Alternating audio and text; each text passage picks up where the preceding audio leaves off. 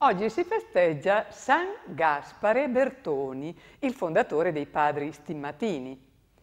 Gaspare Bertoni nasce a Verona, la città scaligera, il 9 ottobre 1777. La famiglia di secolare tradizione notarile, in seguito all'incapacità del padre di gestire il patrimonio, è travagliata da numerosi dissesti, dissesti finanziari.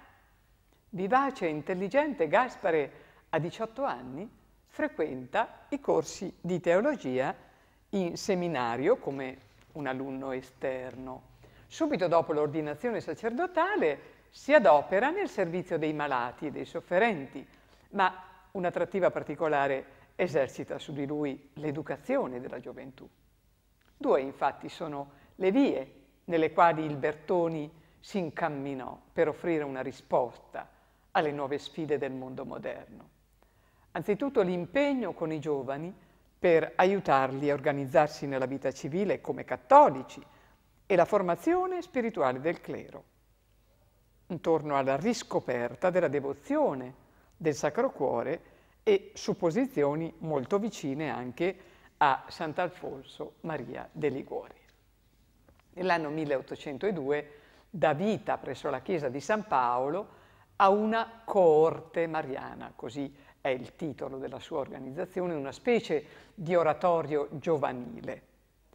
In seno all'oratorio egli propone, accanto all'insegnamento morale eh, e religioso, anche attività culturali e attività sociali, in un clima di serena amicizia, presupposto questo fondamentale per una sana formazione giovanile.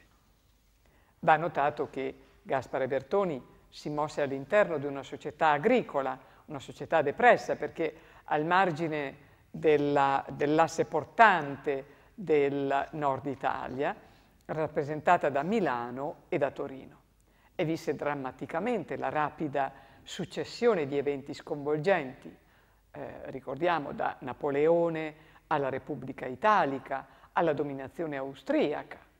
Il confine tra i due imperi passò all'interno della stessa città di Verona.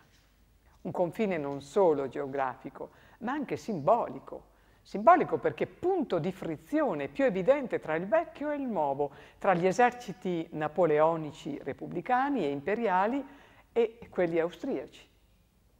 Bertoni visse in questo contesto, ponendosi eh, seriamente il problema di offrire una risposta alle nuove generazioni, alle generazioni dei giovani, che per la prima volta non erano cristiane.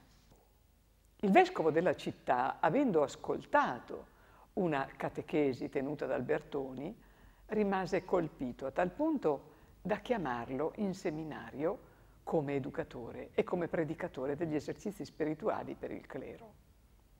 Don Gaspare diviene così il padre spirituale di una folta schiera di sacerdoti.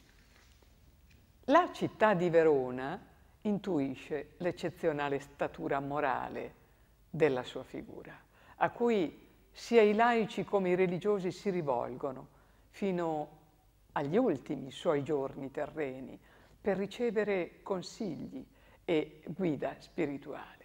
Il Bertoni si può davvero considerare a ragione il padre spirituale di una generazione di santi. Pensiamo da Leopoldina Naudé a Don Piero Leonardi, a Don Antonio Provolo, a Teodora Campostrini, da Nicola Mazza e Don Antonio Rosmini, tutti fondatori di altrettante nuove congregazioni. Anche Don Gaspare fonda una congregazione caratterizzata dalla missionarietà, i preti delle sacre stimmate, come dicevamo all'inizio, gli stimmatini. Tra la fine del regno italico e la dominazione austriaca, Bertoni visse in un attivismo davvero non comune. Non comune soprattutto se si considera che era un uomo malato, con problemi alle gambe, eh, eh, eh per i quali dovette subire numerose operazioni. L'ulcera lo aveva eh, tenuto a letto per gli ultimi 12 anni della sua vita.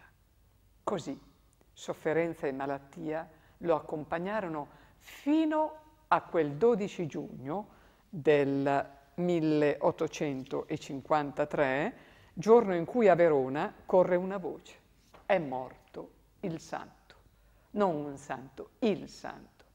Il suo primo biografo, Gaetano Giacobbe, disse di lui questo lasciar fare tutto a Dio e niente all'uomo era in lui cosa così ordinaria e abituale da potersi dire tessera e norma dei suoi pensieri ed affetti, così di ogni sua operazione e disegno.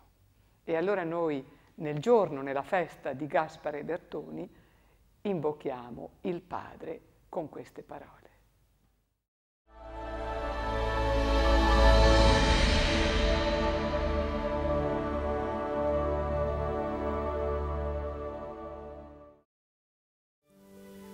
Cristo, fa crescere in noi il gusto della tua tenerezza e della tua bontà, la gioia dell'umiltà e della pazienza. Facci trovare la via del perdono, che si nutre del perdono del Signore. Riempi il nostro cuore della pace che edifica il corpo di Cristo. Allarga il nostro essere nel rendimento di grazie. Tutto in noi sia via che conduce al Padre, via di libertà di spirito. O Cristo che sei, che eri e che sarai, ritorna, perché abbiamo fame e sete, perché veniamo meno nel cammino, perché abbiamo paura del deserto. Ritorna, tu che ci dai la vita eterna. Ricevi questa preghiera e presentala al Padre di misericordia, che dona senza misura l'oggi, il domani e la gioia sempiterna. Amen.